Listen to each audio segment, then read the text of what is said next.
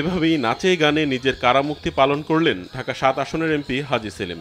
সকাল থেকেই motorcycle, truck, pickup ও ঘোড়ার গাড়ির বহন নিয়ে নিজ নির্বাচনী আসনে শোডাউন করেন দুর্নীতির মামলায় দশ বছরের দণ্ডপ্রাপ্ত আওয়ামী লীগের এই সংসদ সদস্য। এ সময় আওয়ামী লীগের গেল নির্বাচনী থিম সং হাজি সেলিমের নির্বাচনী থিম সং বাজিয়ে আনন্দ মিছিল করা হয়।